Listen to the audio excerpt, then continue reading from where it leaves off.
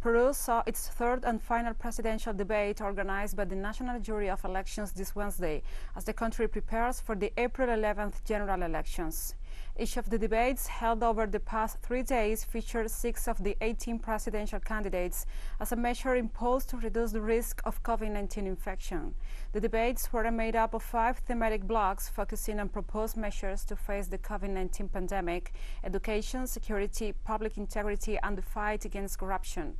Peru has been locked into a long-standing political crisis which saw the impeachment of President Martin Vizcarra last year and widespread protests against the corruption of the political elite and calling for a new constitution.